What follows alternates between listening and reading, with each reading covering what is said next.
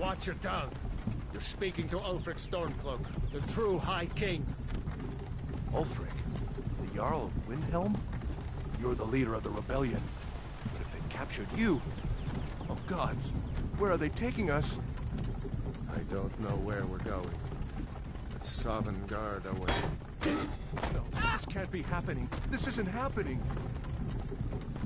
Hey, what village are you from, Horsty? Why do you care? A Nord's la-